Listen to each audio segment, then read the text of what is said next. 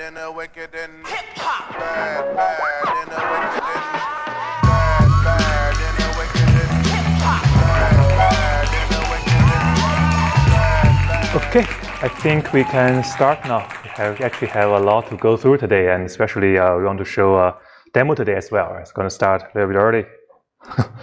so quickly go through the administrative stuff. Uh, so project three is due uh, on uh, Sunday, November the 14th. And very importantly, we have a recitation that is we are going to held on Thursday, this Thursday at 5 p.m. over Zoom. And I highly encourage everyone to, uh, to attend the recitation because actually Andrew and I observed that for many of you already used all your lit days on uh, project two right? So yeah, on project three, I mean, unlike project two, we have some special policy change and we extend the deadline, etc. On project three, we have fixed all the grading policy, the scripts, etc. So we will not extend. And uh, yeah, you should uh, definitely start early and check out this recitation and seek for help early as well, right? We will not extend, and if you go over, I mean, there will be a penalty obviously. So project four, oh, sorry, homework four, again, will be released today and is due a little bit earlier uh, on November the 7th, all right? so again, a little bit uh, advertised on the upcoming database, database talk that we are uh, organizing. So next Monday, we'll have the, uh, the CEO, I believe, and the co-founder of Pinecone talk to talk about their uh, vector database. Essentially, it's a database uh, system. Actually, there's some noise. Could you, yeah. Uh, essentially, it's a database uh, system designed for machine learning applications, right? Handle, handle vectors, features, etc. And what's interesting is that the uh, presenter, I mean, which is the co-founder of this company, is actually uh, the uh, pre previous head of the Amazon AI lab, right? So it's kind of interesting to see uh, what he got to say next Monday, all right? So get to the content today. last class, we talked about uh, sort of like the standards on how do we define uh, transactions are, are, going to be executed correctly. Right? We talk about uh, serializable transactions, especially we talk about a serial transaction, which means that transactions execute one after each other. Right? That's definitely going to be correct. And then we talk. We said that we don't really want that to happen always, right? Because in many cases, we want transactions to be executed concurrently, right? So they are more flexible, get higher hardware utilization, as well as potentially uh, later latency if we can execute them in parallel. So we talk about uh, two uh, different concepts uh, that we can allow for uh, operations in transactions to interleave each other, but then to make sure that uh, they are still correct. And then essentially we talk about two uh, analyses that we can uh, decide uh, whether a schedule of a transaction, uh, of, of a set of transactions would be correct. The first would be a conflict serializable, right? Essentially, we can uh, look at the uh, non-conflicting uh, operations in a transaction schedule and flip them around so, and see whether we can eventually put back a schedule of a set of interleaved transactions back to a serial order, right? And if we can succeed on that, that would be uh, the schedule would be called conflict serializable, and that's that would, would be considered uh, the correct transaction schedule. And we talk about a little bit more flexible uh, standard, which called view serializable, right? Allows more uh, sort of execution schedule of transactions, but in practice it's difficult to achieve because essentially we need to understand uh, more semantics of the transactions. All right. And then uh, just to quickly uh, go over this uh, example right here. Let's say we have a transaction T1 that has a read on A, write on A, and read on A. Transaction T2 has a read on A and a write on A, right? And then one conflict, oh, for example, would just be uh, this uh, write-read conflict, right? You would have, we define a conflict when you have uh, two operations happening on two different transactions, but on the same record, and at least one of them is a right operation, right? Then would be called a conflict. And that's the things that we are trying to avoid to make the um, schedule of a transaction quote unquote correct, or in other words, serializable, all right? so uh, that's what we're going to talk about today. I mean, last class, again, try to emphasize, last class we are talking about kind of a theoretical analysis, right? Just assuming that we know the complete read-write set of different transactions, and we know how things interleave, and we know what aborts, what commit, right? Just assuming we know all those things, then we analyze whether a schedule of the transaction of a set of transactions would be valid or not, or in other words, serializable.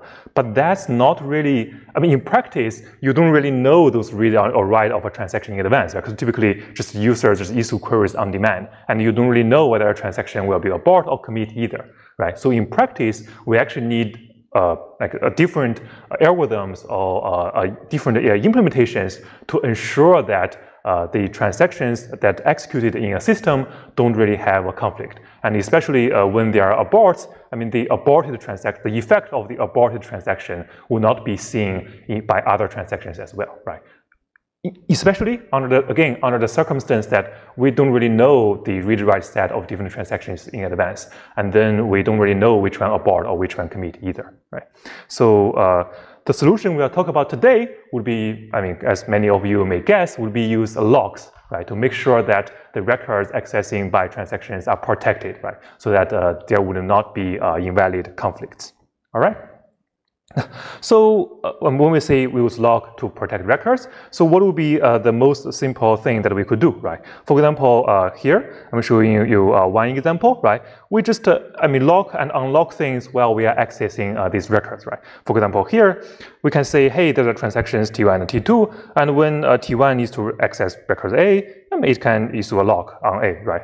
oh, actually, we're assuming that there would also be a centralized location. Actually, not assume. I mean, there in database system, there would actually be a centralized location of component that would manage all those locks. Like say, hey, what are the locks uh, currently out there? Which transaction owns which lock, and which transactions are waiting for which lock, etc. We'll go into details later, but essentially, uh, conceptually, there would be a component in a database system that's in charge of all those uh, locking. And actually, that's something that uh, you guys are going to uh, implement, uh, at least complete in, in the last project as well, right? So it's very important. Okay, so here, uh, again, back to this example, transaction A needs to read out write on A, then, I mean, for example, it can just ask locks on record A from the lock manager, and lock manager can grant lock on A, right? Because nobody has uh, have this lock on A before. And here, I mean, transaction T2 comes along, and then it wants to uh, uh, uh acquire this uh, lock on the record, but then it got denied, right? Because already held by transaction. And then it has to wait and wait and wait, and then until later on, transaction N finish, transaction, A, transaction one finishes accessing on record A, it can just release the lock, right? Then it notifies the lock manager. Lock manager can now grant this lock on transaction T2. And essentially transaction T2 finishes and then uh, it can release the lock, right? So this is the high level kind of concept that we are going to talk about uh, today. Uh, but this is a very simple example and we will talk about uh, much more specific algorithms um, in, in the lecture, right? So uh, to uh, give you a heads up on what we're going to talk about today, we'll talk, talk about the different types of locks at first, right? Talk about the definitions and terminology, and then we talk about one uh, canonical, a very like used very widely used uh, algorithm to achieve a concurrency control called the two-phase locking. I mean, with the different locks we talk about. And then we talk about several issues that we need to deal with um, under the uh, algorithm or method of two-phase locking, namely deadlock detection as, as well as uh, prevention. And lastly, uh, we'll give a little bit of heads up on hierarchical locking. And because I want to show a little bit demo today, so probably we cannot finish hierarchical locking, uh, but I, uh, I want to give you a little bit of heads up and we can continue next class. Just before we start, one important uh, concept and we need to distinguish here is that there are actually two types of uh, things that will pro protect records in the database system, essentially. Uh, this is a little bit different than the definitions you will see, for example, in C++ standard or in operating system classes.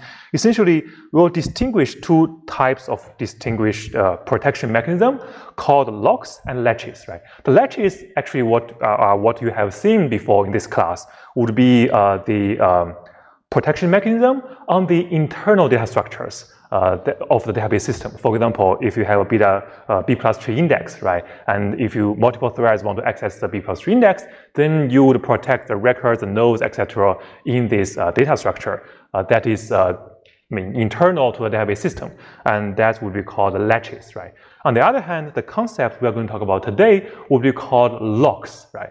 And they are essentially, uh, again, protection mechanism, but specifically for transactions. And what they apply on, they are just applying on the actual content in the database, right? Just the, the, the tuples in the table, right, or the entire database, etc. But they are protection mechanism to protect the data content in the system, other than some uh, data structure that is uh, used uh, by the database system uh, internally. Does that make sense? Right. So one is on data on the records tuples. These are locks. The other is on like uh, internal data structure like uh, beta, beta tree, B, B plus trees or hash tables, etc. All right. And of course, there are within this uh, uh, category of locks, there are different types, I mean, apply in different modes, different methods, etc. And lastly, there would be a lock manager, let me sit at the bottom, that would be coordinate everything, right, which would be a component in a database system. Okay. So we start with a few uh, definitions of uh, different types of locks. So uh, you probably have seen these uh, similar concepts in, in other classes or even in C++ standard, right? The most at the most basic level, there will be uh, two types of locks.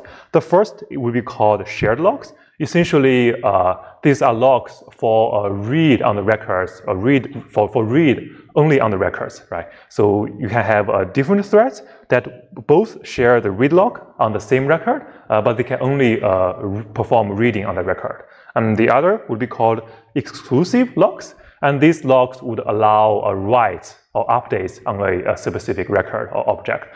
But on the other hand, as you can imagine, I mean, only one thread can hold this uh, exclusive lock. And then this is just uh, this compatibility matrix of these two types of locks, right?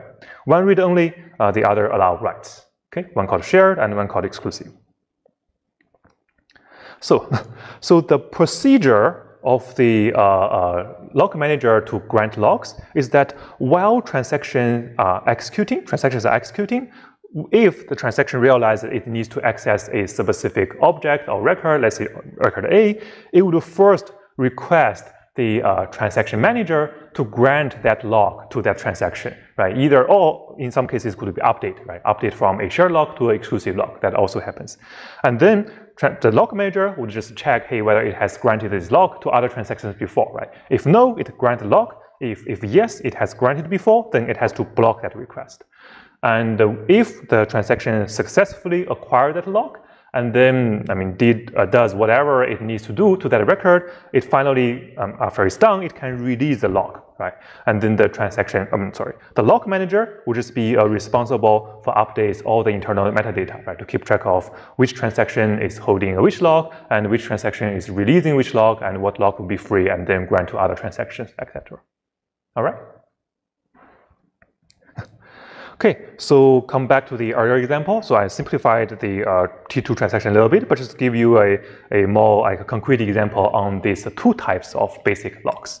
So here, transaction T1 read only write on A and then read on A again. Transaction T2 only write on A, right? So here, because transaction T1 needs to both read on, write on A, it would just uh, request a, uh, uh a, exclusive lock um, the, from the lock manager, and the lock manager granted the lock because nobody has held uh, was held in that lock before, right? And then after transaction T1 is done with this um, uh, record A, it can just release this lock. right? And then later on, transaction uh, T2 uh, would need to uh, acquire this lock, and then lock manager granted the lock, right? Because transaction T1 already released that lock, and then after T2 is done, it can release the lock. And finally, right, because uh, T1 only needs to uh, read that record, it uh, doesn't need to uh, uh, doesn't need to acquire exclusive uh, lock again, right? It only needs to, it only needs to acquire a shared lock, and then after everything finished, it's done, right? So everything seems good so far, right? But there's a, actually a problem happening here, right? So what is the problem? The problem is that transaction T1 Actually, transaction T1 performed two reads on record A, right? It first read it, write it back again, and then read it later. But between the two reads, transaction T2 actually come along and change the value uh, that transaction T1 written before right? And this is actually unrepeatable read, or I mean, from T1's perspective, it's unrepeatable read. From T2 uh, perspective, it's dirty writes, right? But essentially, I mean, this transaction schedule is incorrect, right? And nothing, I mean, nothing here is really, uh, well, yeah, there would not be a serial schedule uh, that would produce a result or the effect that is equivalent to this schedule, right? So this is actually wrong. So what does it tell us? This tells us that by simply uh, locking records while you need to access them, that doesn't prevent cycles uh, in the count in the I mean in terms uh, for the cycles in the dependency graph, right? According to our uh, conflict standard uh, in a uh, schedule of the transactions, right? So even though you do this, you lock records while I mean you want to access it. If you draw the uh, conflict graph or the dependency graph, there can still be cycles, and this can still be wrong. We need something a little bit better, right? More more sophisticated than that. Make sense? Okay. Yeah, I mean, it just shows that this is wrong.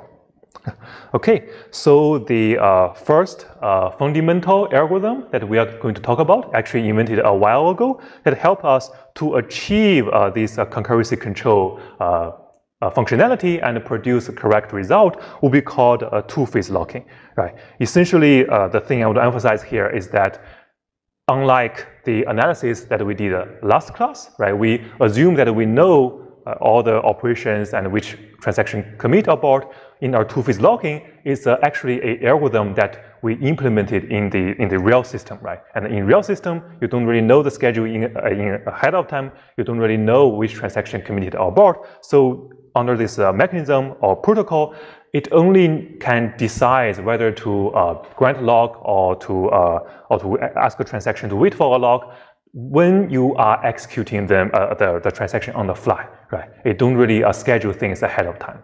Okay.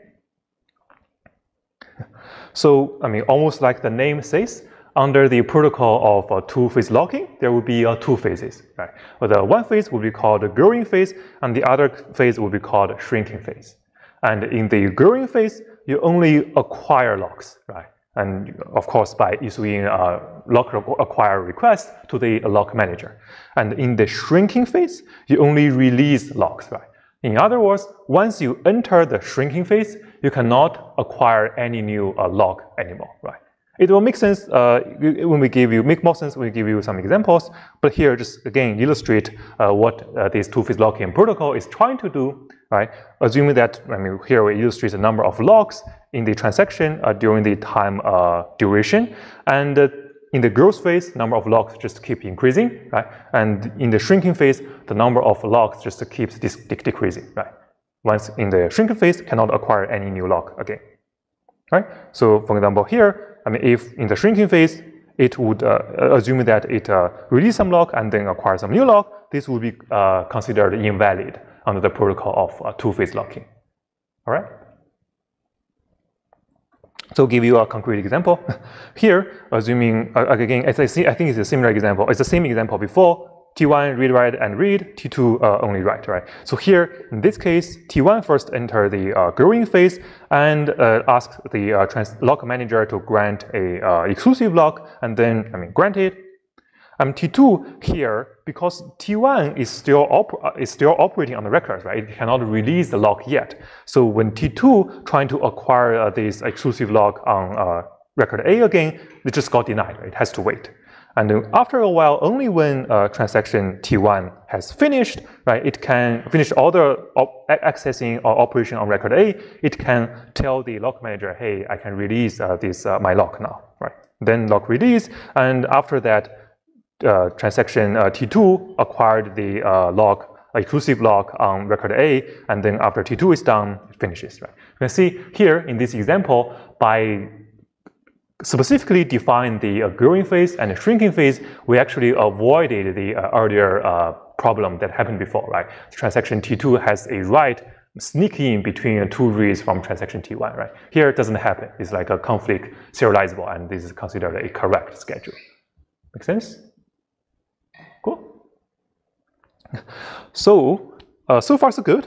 But actually, this one uh, problem that we um, that, that still can exist, uh, well, or to make this uh, two-phase locking algorithm inefficient, which is that again, when we when we analyze uh, the uh, transaction uh, conflicts last class with these uh, different conflicts, we actually always assume that we know uh, which transaction aborts, which transaction commits, and we just sort of assume there's a um, magical algorithm that uh, would uh, eliminate the effect of transactions that have aborted. Right? We, when we analyze the conflict last, last class, we only focus on transactions that have uh, committed and then analyze where there will be conflict here. But in actuality, transaction may abort right? So under this um, two-phase locking protocol, I mean, it, it can handle abort, a transaction abort, but then when transaction abort, it may have a cascade effect that could affect other transactions and makes the system uh, inefficient. So let me give you an example here, right? Again, here, same thing, right? T1 and T2, right? Uh, and uh, assuming that we have uh, two records, A and B, right? So here, Yeah, assume, uh, yeah, assuming that uh, T1 is uh, read on A, uh, write on A, and uh, T2 uh, read on A, write on A, and T1 come back and read on B, write on B, right?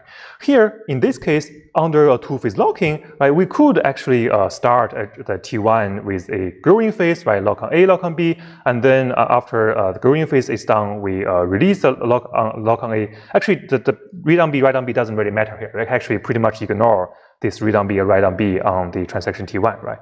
But but but once the transaction T1 release lock on A, right? Finish. I mean, after it finish accessing a record on A, it can the transaction T2 can come along and read this record, right?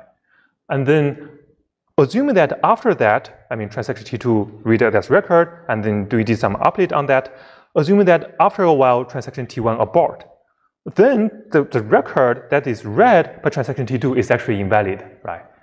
So the schedule on the left I mean, satisfies uh, two-phase locking, right? It, it's a growing phase and there's a shrinking phase, right? It, it ensures that, uh, I mean, it doesn't have uh, the conflicts that we talked about before, right? But then if that happens, if transaction T1 abort, transaction T2 has also to be aborted as well, right? Because otherwise, uh, this uh, record read by transaction T2 would be invalid, right? So essentially, here, as you see here, even though uh, two-phase locking would ensure that I mean, at the end of the day, all the committed transactions would satisfy conflict serializability, right? Everything is correct. But when abort happen, right? I mean, if there's a other transaction that has read the record from a aborted transaction, the other transaction has to be aborted in a cascade fashion, right? And this could, go on, on and on, right? Could be five, 10 transactions if there are lots of conflicts, right? So there will be a lot of work waste if you just use this uh, original version of uh, two-phase locking. Make sense? Oh, cool, cool. Yeah, so, uh, well, yeah, that's essentially uh, what we just talked about uh, here. So uh, the two-phase locking is actually a little bit conservative uh, schedule, right? There are actually uh, certain conflict serializable schedules that, that, I mean, that would not just be allowed by two-phase locking. Again, because two-phase locking doesn't really know the entire schedule ahead of time, right? So it's a little bit conservative. but at the meantime, under two-phase locking, there may still have a dirty reads, at least temporarily, that may make uh, transactions uh, to abort in a cascading fashion, right, which would uh, generate lots of waste work. So the solution for that would be a little bit stronger version of two, two-phase locking. There are actually different variants of solutions, but the solution we talk about today in this course would be a like a pretty strong variant of two-phase locking called strong, strict two-phase locking, and in other words, some people also call it rigorous two-phase locking. Uh, that would uh, help to uh, resolve the uh, cascade aborting issue we just talked about. And then there can actually uh, uh, there can be other potential issues, like if different transactions can while if different transactions are acquiring locks, transaction one, for example, acquiring locks on A and B, transaction two, for example, acquiring locks from B and A, then there could be deadlocks, right? And we also need to have a mechanism to uh, prevent uh, transactions to have deadlocks or to break them up when that happens. So let me uh, first focus on this uh, dirty read problem I just talked about. So the uh, solution I have already uh, mentioned for this will be called strong strict uh, two-phase locking. Right? So in this case, a transaction is only allowed to release uh, locks after it has ended. Right? so you can almost think that the, there, the, the, there's a homogeneous shrink phase, right? The growing phase is the same, right? But the shrink phase is actually just uh, be collapsed together, right? You just release all the lock at the end of the shrink phase, and then especially at the end of the transaction, either when the transaction committed or uh, aborted, right?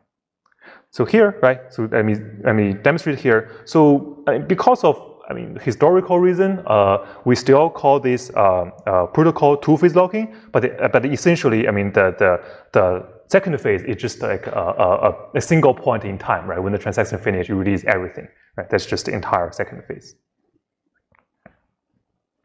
So uh, definition related to this uh, strong, strict uh, two-phase locking is a concept called a strict schedule, right? Essentially, a schedule is a strict if a value written by a transaction is not read or overwritten by any other transactions until that transaction uh, finishes, right?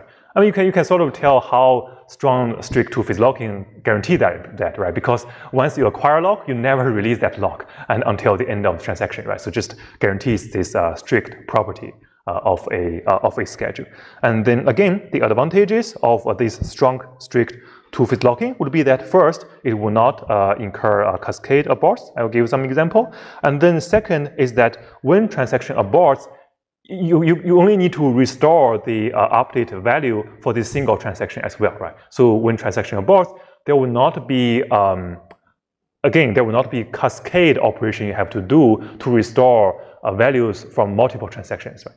You only need to deal with this uh, single transaction when abort happens.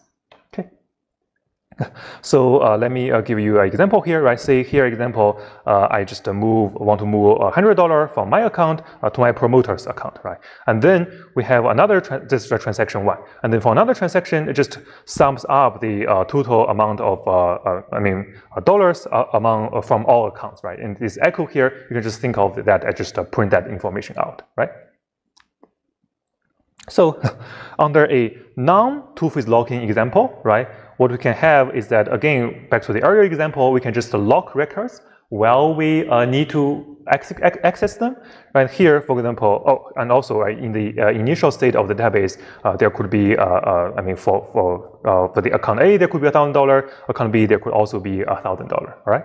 So again, in the non-phase two-phase locking example, you just lock records while I mean this transaction needs to access them. They first acquire an exclusive lock on A, right, and then when T2 wants to apply a shared lock on on A it, it just has to wait, right? But then after a while, T1 can release the lock, and then uh, T2 can have the lock, right, on, on A, and then read the record. and then after that, it can unlock. And after a while, I mean, uh, uh, oh, oh, actually, yeah, after that, and T2 wants to uh, acquire a shared lock on B and grant it, and then later on T1 has to be blocked, right? And then wait for T2 to release a lock on B, and then finally uh, T1 can finish as well, right? But in this case, right, because we uh, didn't really follow two-phase locking. So while transaction T2 is reading the record on A, it's actually read a sort of a half updated value, half updated value from T1, right? So A is already deducted by 100 by T1 in this case. And then when uh, T2 trying to output the summation of the two values, it only output 100, uh, 1,900, right? Which would be incorrect, okay?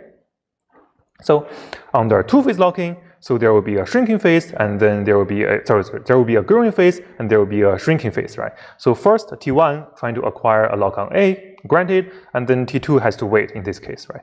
Then uh, comes back. I mean, T1 can actually uh, acquire lock on B ahead of time, right? Because it has to acquire all the lock uh, in the growing phase, and then after that, when T2 tries to acquire lock on B, it has to wait, right? And then only after a while, when T1 finishes all the, the uh, operation, it can release uh, it can release T1 the record on A earlier, but then it can release the record on B, the lock on B uh, later, right? And then uh, in this case, uh, T2 can finally um, acquire the lock on B, and then after it finishes the operation, it can release all the locks, right? So here, if we uh, sum everything up, T1 and T2, well, when they, when they sum up, when they sum up the record, the value from A and B, there will be 2,000, right? So in the um, two-phase locking case, uh, this schedule of the transaction would be uh, correct, right? Finally, under the strong, strict uh, two-phase locking, again, the same example, but in this case, T1, while it is like applying uh, uh, locks on record A or record B, it just uh, never release lock, right, until the very end of the transaction. I mean, T2 here, similar thing, right? Even though it has to wait uh, for transaction T1 to release all locks, after it acquires locks, it never releases everything until the very end of the transaction, when, when right at right at when it needs to commit. Right? In this case, there will be just an example of strong, strict uh, two-phase locking, and then there will not, not be a cascade bars in this case. Make sense? Right? Again, it's uh, still correct. Right? A, plus B would still be a 2000 in this example. So if we uh, get back to uh, our uh, earlier uh, example, or, earlier diagram of the uh, uh, different category of transaction schedules, here let's say assume that we use this big box to demonstrate to represent all the allow all the possible schedules of a set of transactions, then this serial schedule will just be a tiny portion of them, right? And then uh, beyond that, there will be a conflict serializable, right, to allow you a swap non-conflicting operations. And then beyond that, assuming that you know a little bit semantics, there will be a view serializable, right? Would still be correct, but difficult to do. And then on a different level, right, there could be a set of no cascading aborts uh, transactions, right? I mean, some of them would be serial, some of them may not be serial, right? It's like a different set of um, transaction schedules.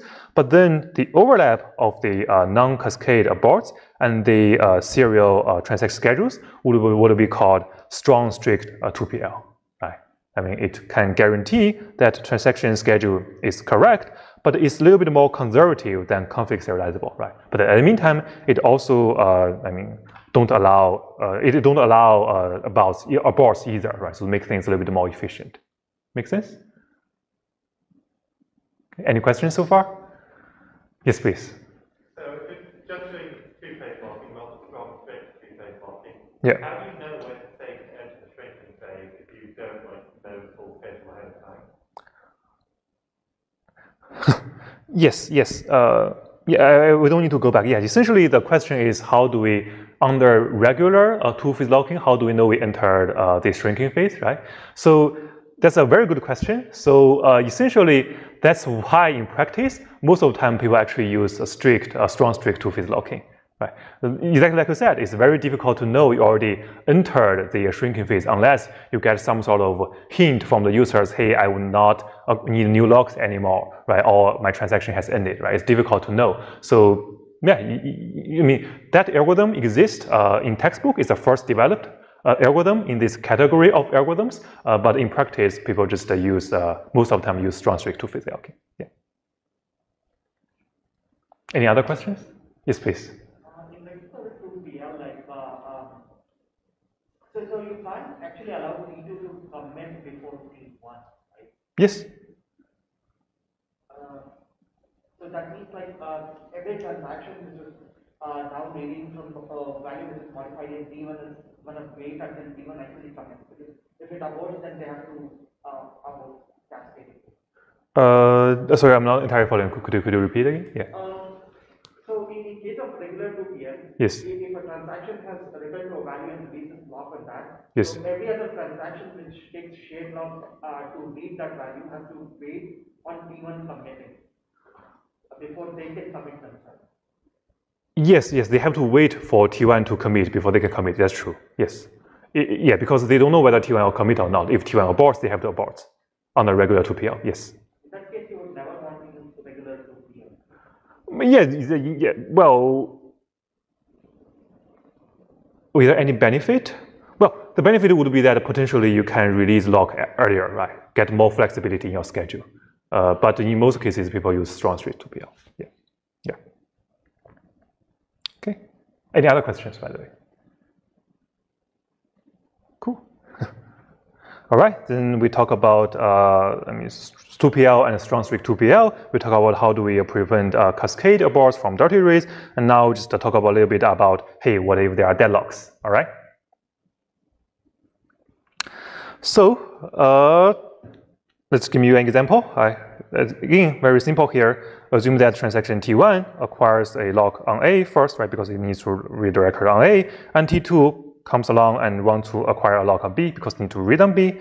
And then assume that later on T1, uh, T2 needs to read on record A, so it, it wants to acquire the lock on record A, but got denied, right? Because it be held by T1.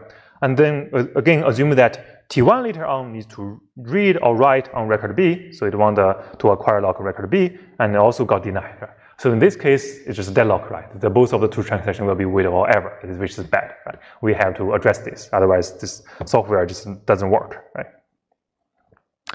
So uh, essentially, that would be just called a deadlock, and then more specifically, a deadlock which just means that there's a cycle in the uh, in the different transaction waiting from uh, each other, uh, so that I mean nobody can really uh, release any lock and nobody can really con- proceed, right? And essentially, uh, there will be um, at high level two types of approaches uh, to deal with deadlocks, right? The one is uh, deadlock detection. Essentially, it's a little bit optimistic. You just let transactions to acquire locks, I mean, in whichever way they want, right? And then if uh, there would be deadlock, if there uh, would be deadlock, then you just try to detect the deadlock and then try to break things up when deadlock happen, right? And then another approach would just be called a deadlock prevention, which is a little bit uh, uh, pessimistic. So essentially, uh, you will uh, assume that I mean deadlock may happen very often. So before a transaction acquire any lock, you check where hey, if I get this lock, whether there will be a possibility that I can generate a deadlock in this different waiting relationship of the transactions, right? If there's such ability, you just, uh, I mean, either you kill yourself or you kill the other transaction, right? But th that, that depends, uh, but essentially you try to prevent deadlocks ahead of time, right? So let's talk about uh, deadlock detection first. Uh, and I will show them some demos related to that. So uh, to uh, implement this uh, deadlock detection algorithm, you actually have to sort of create a wait for graph, right? That's, uh, that's the uh, standard terminology. A wait for graph uh, to keep track of what locks that each transaction is waiting for uh, to acquire. So this um, wait for graph is actually a directed graph. So if a transaction uh, Ti is waiting for a transaction Tj to release a lock, then there will be a directed edge, right, from T1, uh, sorry, Ti to Tj. And then you just uh, draw all these edges uh, for all the current uh, transactions in your system. And if there's a cycle, then there will be a deadlock, okay? So also the, the way to think about this is that in, in the internal component of the database system, there would actually be a background thread, right? So the, the lock manager would keep track of uh, all this kind of metadata, who, which transactions acquiring which lock, which is waiting for which, etc. And also there will be a background thread that just wakes up periodically, right? To look at, hey, this like different relationships, different wait for uh, relationship between different transactions to check whether there will be cycles, right? And if there's a cycle, the background thread will do something to break things up, all right? So here in this example, right, T1, T2, or T3, uh, let's look at this wait for relationship, right? Uh, here, uh, transaction T1 is waiting uh, for transaction T2 because T1 acquires the lock on B before, right? There's an edge.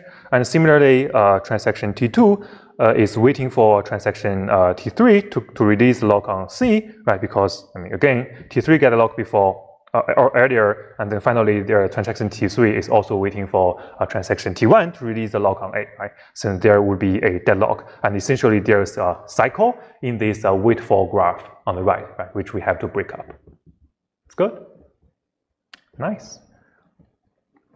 So uh, the way, again, like I sort of like uh, hinted a little bit earlier, the way we are going to handle this uh, deadlock situation when it happens, it's just that we are going to select a transaction we call victim and to just kill that transaction, roll it back, and to just to uh, break uh, break up the cycle, right?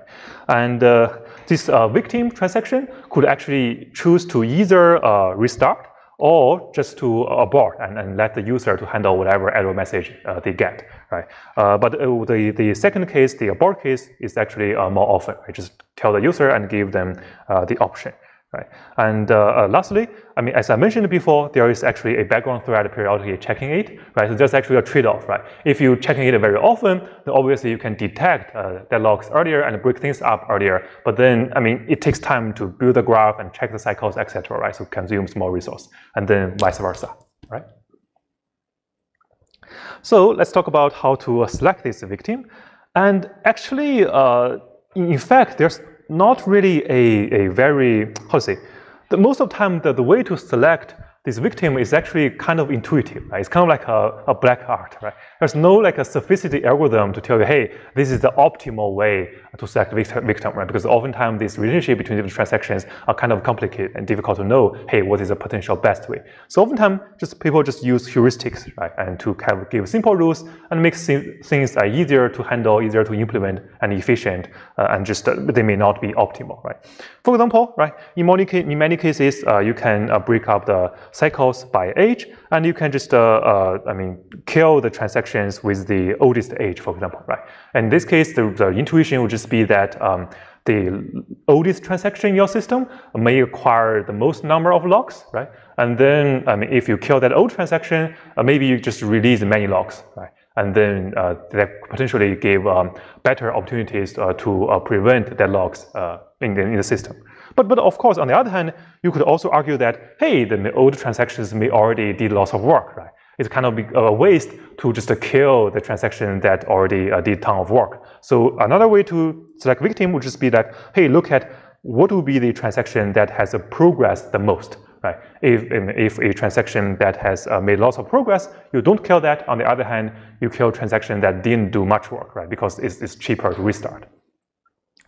Or you can also uh, just directly look at the number of locks, right? So another reasoning would be that, hey, if a transaction has maybe uh, locked, has required lots of locks, right? Then potentially it, it didn't need much time to finish, right? So maybe it just needs the last one or two locks to finish the entire transaction. So maybe you should let that continue and then kill the other transaction with, I mean, again, similar to progress, right? Less progress or less locks, right?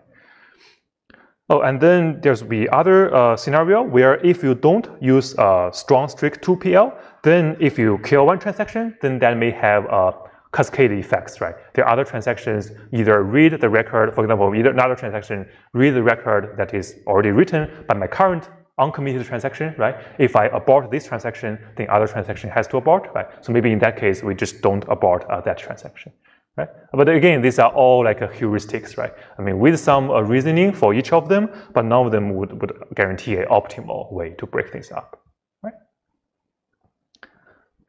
Yeah, oh, lastly, uh, the, the another thing uh, to consider is that we don't want a starvation either, right? So we also need to uh, keep track of the number of times uh, transactions have been aborted or restart, right?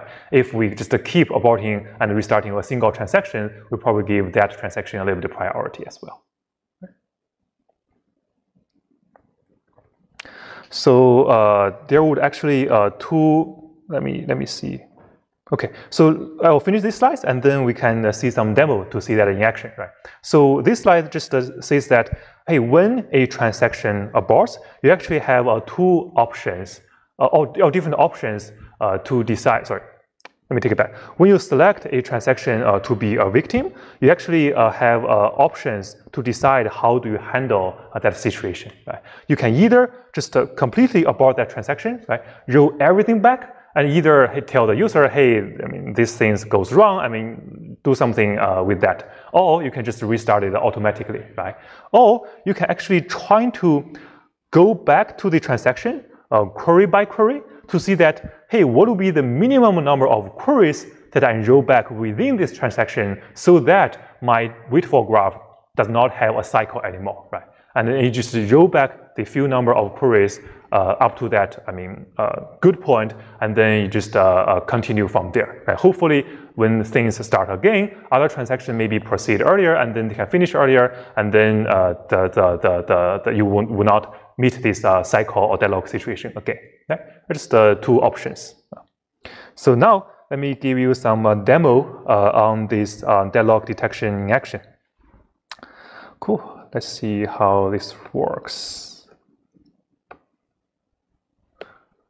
Can I actually, where is this? Okay, it's here. Okay. Oh, oh, I probably should. Yeah, it's actually not very easy for me to see that, but that's fine. Next time I will.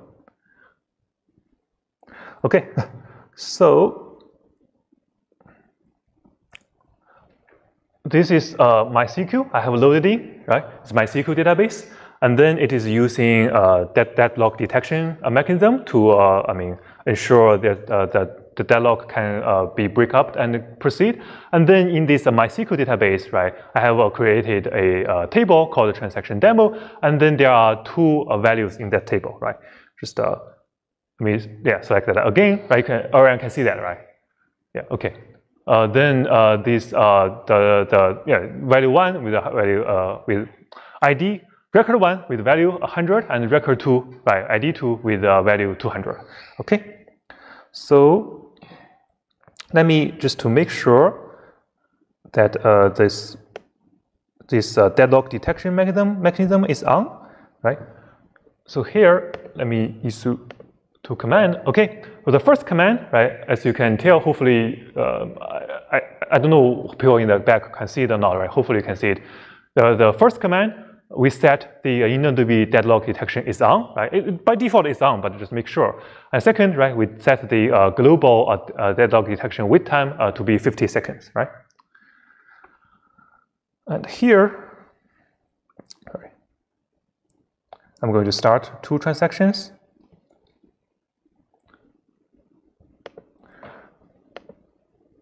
Okay. Oh, I probably let's let's. Probably started uh, two times, right? So let's just start it again. Okay, I set the uh, session uh, isolation level to be serializable, right? And then we begin a transaction, right? And then I will do the same thing here, right? In the second terminal, right? I begin a transaction as well, right? Okay. Ah, this is actually going slow. Next time I should bring another laptop, actually.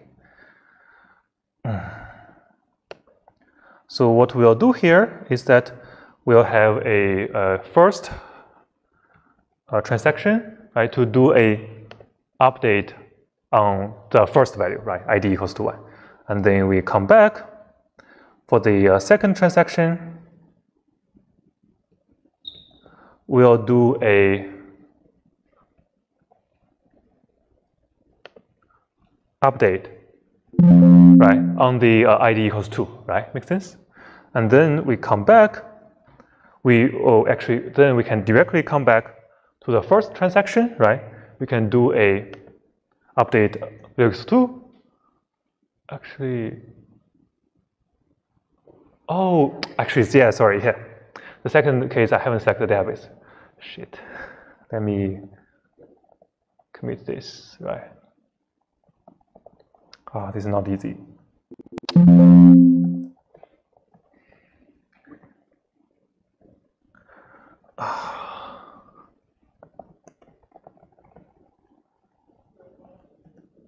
Okay, use demo.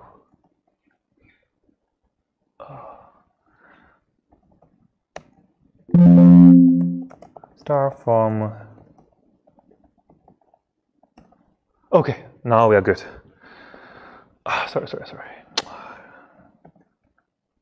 Let me just make sure that I committed everything and uh, come back. I start this uh, transaction again.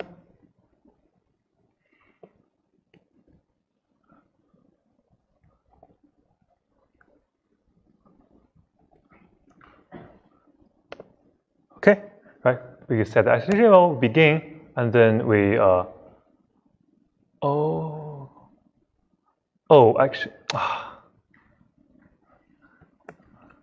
yeah, because, because we already uh, select trans- uh, I- tuples from the second transaction, right? So that uh, while it is, uh, it is executing, it's, it's actually uh, still holding some locks, right? So that blocks my transaction on the, on the first uh, demo. Me try to, yeah, after I commit this, right, you can see the first transaction also uh, goes through, right? Makes sense? But that's, that's not exactly what I wanted to show, but uh, essentially uh, that's, that's, that's, I mean, the effects of deadlock detection algorithm, right? So uh, let me just uh, quickly uh, go back to this. Right, and make sure that this thing is also committed. Okay.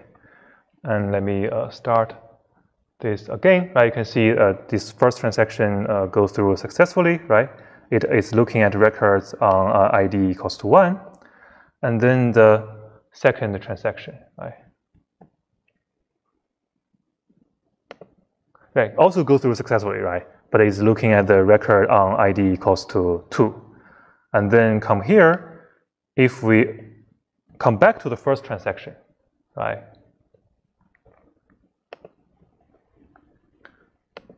You see, if we issue a, record on ID uh, equals 2, then, uh, sorry, issue a query on ID equals 2, it is waiting, right? Because the second transaction already acquired the lock, right?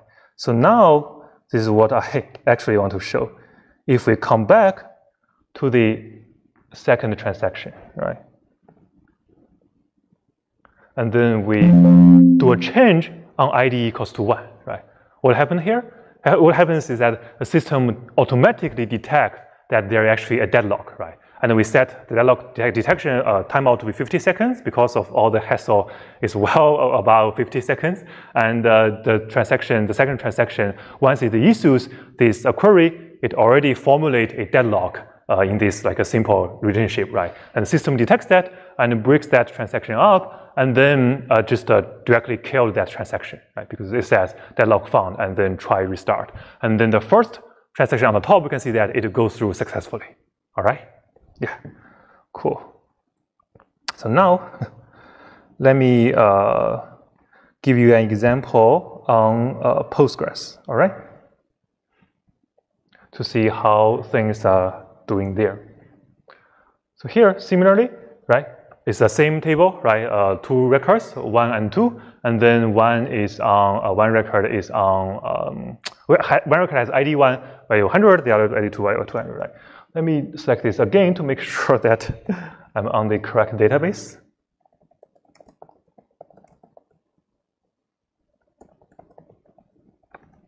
Okay, I'm in the correct database. Nice.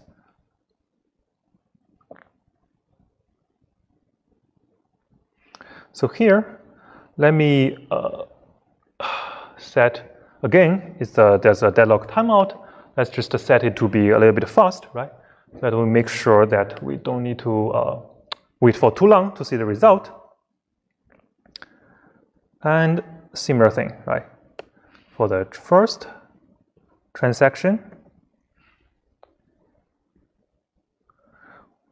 we're going to, uh, I mean, first begin the transaction, of course, and then uh, access the uh, record with the ID equals to one, all right? And similar here, come back to my commands.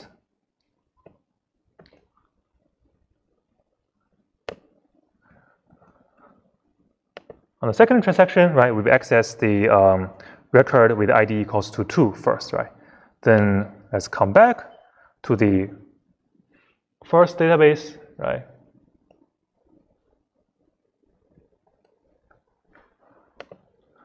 X, X2 again, right? Again, it's actually uh, got blocked here because transaction 2 is accessing uh, the, uh, the same record and already got the lock, right? Finally, if we come back to uh, this transaction, sorry, yes. And then when we uh, get this, um, this, this trying to access the uh, record with ID, ID equals to one, then it just got blocked, right? Because there's a deadlock situation. And then, yeah, after a few seconds, right? Remember we have set the level deadlock timeout to be 10 seconds, right?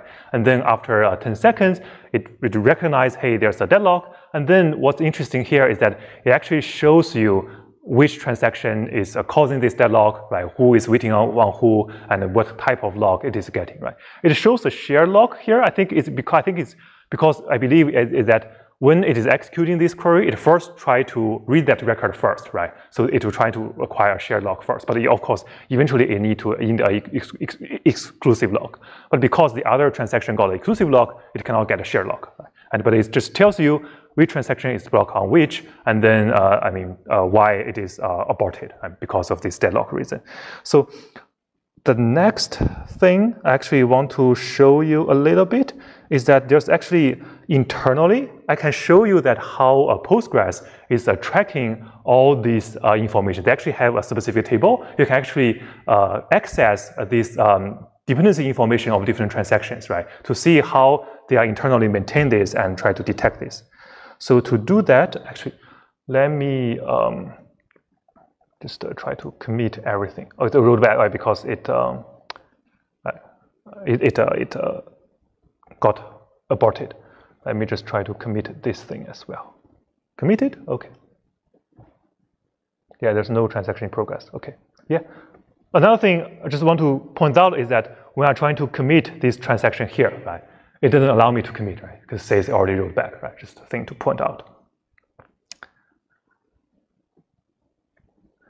So here, what I want to show you is that I want to set the, uh, wait one second, set the timeout time to be a little bit longer, right? For example, to be uh, 300 second.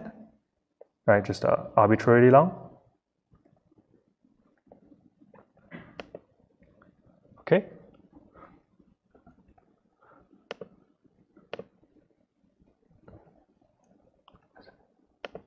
Hmm? Uh, I don't know. Oh, sorry, I accidentally copied the wrong command. Sorry.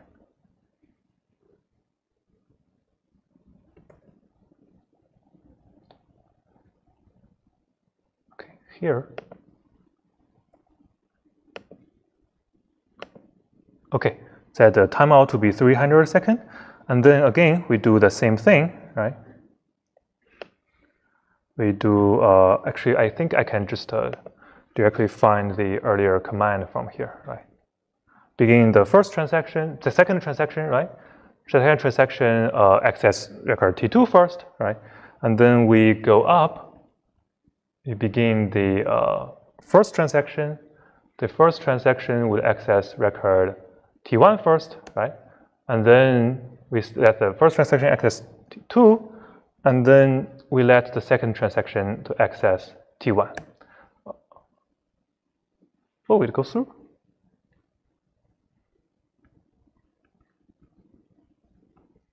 What I did wrong this time?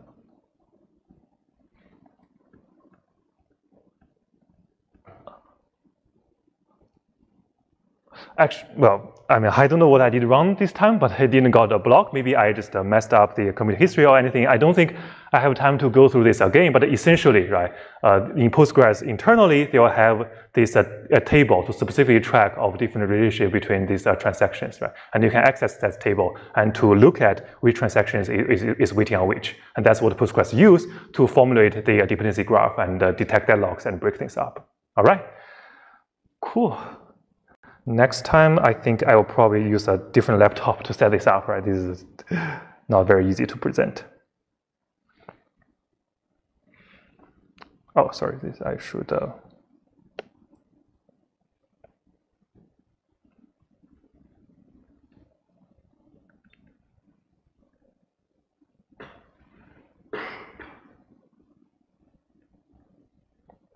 Okay, any questions so far? On the demos on uh, deadlock detection two-phase locking. Okay. then for the rest of time, we talk a little bit about a different uh, mechanism called deadlock uh, prevention, also uh, trying to uh, address this deadlock issue, and then we give a little bit of heads up on hierarchical locking. All right.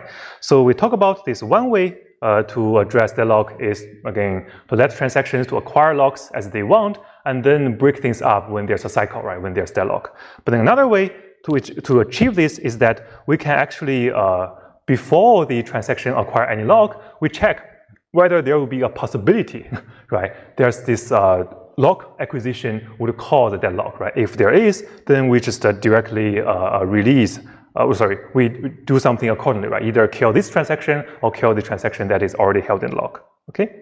So that will be called the prevention. And this will not require this uh, wait for graph or background checking, etc. we talked about earlier when we, are, we have the deadlock detection mechanism. Make sense? So in deadlock prevention uh, uh, mechanism, we actually assign priority to transactions based on their timestamps. Right? So we actually always assign higher priority to the transactions that have a higher uh, timestamp, essentially the older uh, older transaction. And we do this uh, because we don't want starving. Right, so we can see that essentially while we are killing transactions, uh, sometimes the transaction gets started, but we always keep the original uh, timestamp uh, of the transactions, even though we start the transaction again. So in that case, we always ensure that at some point a specific transaction has become the oldest transaction in the system and has the highest priority so that it can proceed, right, but not be killed. And essentially, there are two uh, different schemes uh, to achieve this deadlock prevention, depending on uh, you want, depending on you want which, which, which type of transaction to which to wait on which type of transaction. Otherwise, other way to say that depending on which you are going to kill. So the first uh, scheme is called a wait die, or essentially we only allow the old transactions to wait for the uh, younger transactions. So essentially, when uh, if a younger transaction want to compete or acquire a lock that is already held by a older transaction, we wouldn't that wouldn't allow that to happen, right? We'll kill the younger transaction right away, right? That's called wait die, right? If a younger transaction, if it's a younger transaction, it doesn't allow to be waiting, right? It has to die, right? And then on the other hand, it's called wound wait. So it will be that we only allow younger transactions uh, to wait for the old transactions, right? Only allow that one single direction of wait. So another way to look at it is that when a old transaction want to acquire a lock that is already held by a younger transaction, we'll give a priority to the old transaction. So we'll kill the other transaction, the younger transaction that is already waiting, right? So we only allow younger wait for old, but if we old trying to um, wait for young, trying to acquire a lock that's already held by young, we wouldn't allow that waiting to happen. We'll just kill the other younger transaction right away. That makes sense? Okay, so in this case, again, give a little bit heads up. What we want to achieve is that we want, we want, we want there would only be one direction of waiting right, among all, we, all the transactions, right? So if we, again, we could draw the wait graph here, but even though we don't draw it, right, the potential wait graph would be guaranteed no cycle, right? Because there's only be one uh, direction of edges in the hypothetical wait graph, even though we don't actually need to compute it, right? Because we don't need to detect deadlocks here. That makes sense? Okay. So here, to give you an example, right? Here T1, T2, uh, in the in the example above, assuming that uh, T1 acquire this uh, this exclusive lock, and then uh, on A, oh, sorry, assuming T2 acquired the lock first, and then T1 as a older transaction now wants to acquire this lock, right? So first, under uh, the wait die scheme, right, because uh, T1 is older, right, it is actually allowed to wait, right? In this case, older transaction always waits for younger, right? But if you are going to use a wound wait scheme, right, because T1 is trying to acquire a lock on T2, but older transaction is not allowed to wait for younger transaction, we'll kill T2 right away.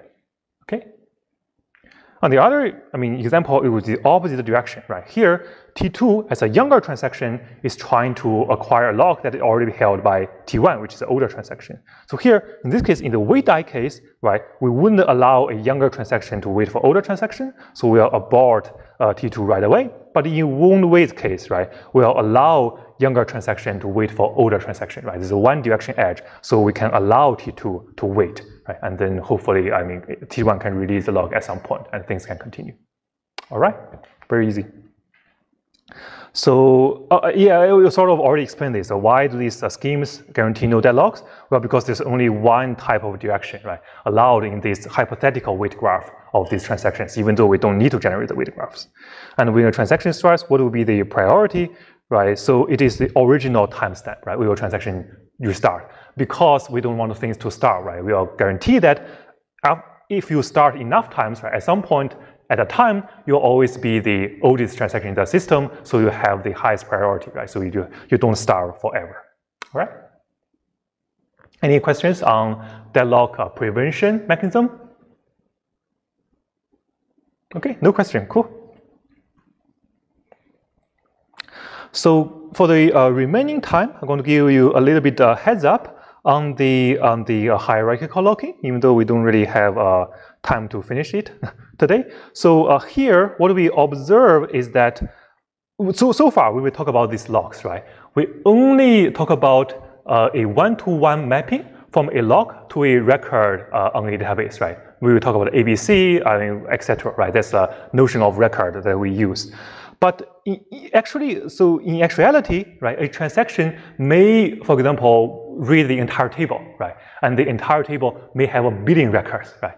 In that case, for the uh, transaction, uh, uh, I mean, protocol or concurrency control protocol we talk about so far, it will just need to acquire one lock on each of the individual billion records, right? So that would just be very time consuming and it's actually much more expensive than acquiring latches when you scan, for example, a B plus tree. Because for this, you can see no matter whether it's deadlock detection or deadlock prevention, you have to go to the lock manager, right? Check who is waiting for this, uh, the lock of this record, whether this already be held or not, right? In some cases, you need to generate this dependency graph, or in other cases, you have to go back to see, hey, to, to determine uh, which transactions already have the lock and who to kill, etc. Right.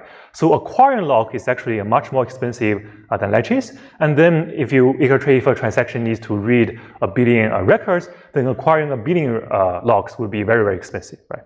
So another way to do this is that hey maybe we can acquire locks at a higher level. Right. So if I know that a transaction would need to acquire locks on the would need to read this entire table, right? Acquire locks on the entire table, sorry, read the records from the entire table and acquire locks for individual records, then why not instead I just have a giant lock, right? That I can just lock the entire table, whether it's either read or write, right? And then we only need to acquire this one single lock on the entire table without going through each individual record, right? This would save lots of lock acquisition time. But the problem also obvious, right? Here, if you only have a table level or database level of locks, then every transaction have to lock either the entire table or entire database, right? The simplest lock would just be the entire database. You just lock the whole thing. Then it's usually back to the case, back to the original case where we only allow one transaction to be executed at a single time, right? So given this, we can see that there's a trade-off between coarse grain locks and the finer grain locks, right? In terms of the flexibility, you allow different schedules as well as the um, actual uh, lock acquisition overhead. So to uh, balance those trade-offs, to uh, find a sweet spot, that's why uh, we introduced the um, concept of hierarchical locking, right? So we have locks at different levels that cooperate with each other. And that's what um, most system will do. At least like a mature system will do. So uh, I mean, again, so uh, this, uh, to reiterate uh, this concept we talk about, when a transaction acquire a lock, it can decide what will be the granularity of that lock, right? Has the opportunity to decide whether it's an entire table, entire database, or individual uh, tuple. And what we want is that we want the transaction uh, to acquire fewest number of locks possible, right? To, uh, to achieve the operation that it needs to do. But at the meantime, we want the lock to be as fine-grained as possible, right? So that we don't want uh, to this transaction to block other transactions that they don't need to block, right? So uh, this essentially there's a trade-off between parallelism versus overhead. So here, to illustrate a little bit, right? Let's say we have a transaction uh, T1 that come along that wants to uh, access the uh, all the tuples in the entire table, right? So here, instead of like directly uh, lock the all the tuples, right? It can just, uh, I mean, as a diagram draw here, it can just acquire a big lock on this table A, right? So that it could just already have the exclusive access. Or alternatively, right, it can choose to lock the and all the tuples, right, in this in this uh, in this table. That will obviously be more expensive, but on the circumstance that uh, T1 only needs to access one or two tuples, it will also be um, allow more flexible scheduling for other transactions, right? Similarly, it can also acquire even uh, acquire locks even on individual attribute level, right? So how do we uh, balance those locks in an entire system, right? If we have the opportunity to acquire locks at just a different level, especially with different uh, categories, right? Either can be shared, either can be read, right? There's like lots of options we can choose here. So the way to address that, to make different locks at different levels to coordinate with each other will be called intention locks, right? It's kind of like a, a tryout uh, lock, or it's kind of like a lock you acquire, but give other people a heads up or what, what you want to do, right? So essentially, an intention lock allows a higher level node on the kind of like a database object tree we talked, we, I showed you earlier uh, to be locked in either share, shared or exclusive mode uh, without having to lock all the uh, descendants, right? So on the other hand, if a node is locked on intention mode, uh, then some other transaction is actually, uh, some transactions can actually do uh, explicit lock at a lower level of the tree. Right? So let, let, me give you uh, some specific definition, right? So here we have three types of intention locks, okay? So the first type will be called intention shared, okay? So this is trying to say that, hey, I'm, I, the, my transaction may acquire or, or will all acquire a shared lock at a, a, lower level of this node, right? It's a explicit shared lock. Uh, uh, but for the for the other um, uh, nodes, I mean, at a lower level, it, it, may not be acquired lock, or it's not it's not um, what's it called? It's not exclusive either, right? And then the second called intention exclusive, right? It will indicate that there will be a explicit locking at a lower level of this node with exclusive locks, right? So that just to give you give other people a heads up that hey, this node is not entirely locked, right? But some children of this node is locked in the exclusive node, exclusive mode, right? So this just tells other people or give other people a heads up, see that, hey, even though my node is not entirely locked, either shared or exclusive, but there will be some a node down below like that is uh, either shared or exclusively locked by my transaction. What, how this is useful, right? For example, if one transaction uh, does not need the entire lock on the big node, but only acquire a, for example, a exclusive uh, intention exclusive lock at a lower level on a specific leaf node, then other transaction would know that, hey, I cannot acquire either a shared lock or a exclusive lock on the higher level node. Right? So this, this gave other people a hint of what kind of higher level lock they may, uh, they may, they may request. Does that make sense? Well, I will give you some examples hopefully next class, but uh, here I will just talk about, uh, give you a heads up on the definition. And then I'll show you uh, how, what, what kind of lock are compatible with each other. And again, for the last definition, there will be a type called a shared plus intention exclusive lock, which will mean that my current transaction acquired a shared lock on the entire node, right? Assuming that my node is a table, then this last type of lock would tell me that the current transaction acquired a shared lock on the entire table. But in the meantime, down below this node, there could be either one or a few leaves that has been acquired with exclusive lock, right? So they would just tell other people that, hey, I mean, even though I'm only reading this entire table, you may be able to read some other uh, nodes, not some other leaves, right, below uh, or uh, yeah, below this table, but you cannot acquire either a shared or exclusive lock on the entire table anymore, right? But on the other hand, for example, if I hold a shared intention exclusive lock on a table, then other people can still hold either intention shared or intention exclusive, right? Because none of the intention shared or intention exclusive will specify that it needs to needs to have access on all the records uh, on this table? Sorry, it can hold. Sorry, it can hold intention shared. It cannot hold intention exclusive anymore, right?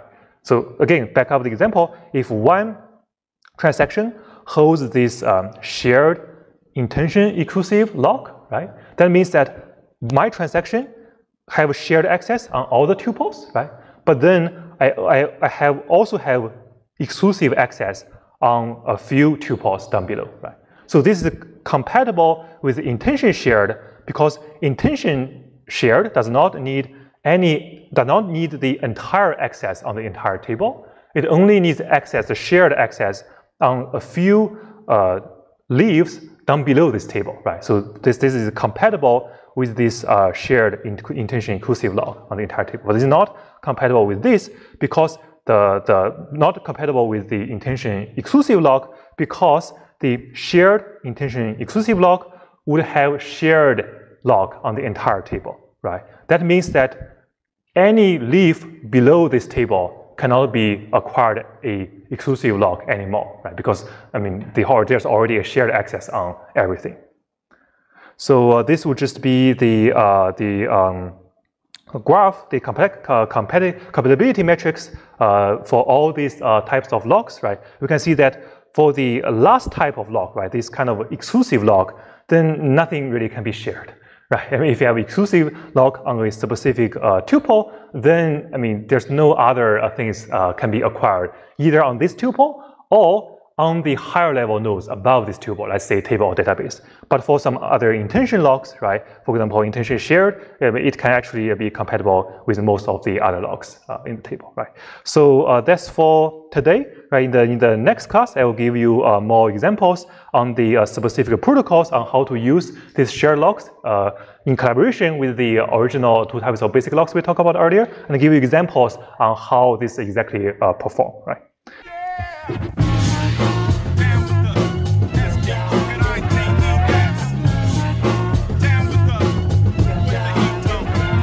I see J, talking about the St. Ides brew. Run through a can or two. Share with my crew is magnificent. Plus is mellow. And for the rest of the commercial, I pass the mic on to my No need for a mic check, bust it. The P's all set to grab a 40. To put him to yoke and snap his neck. Say nine. Take a sip, then wipe your lips. Cue my 40's getting warm. I'm out, he got the dip. Drink it, drink it, drink it, then I burp. After I slurp, ice cube, I put in much work.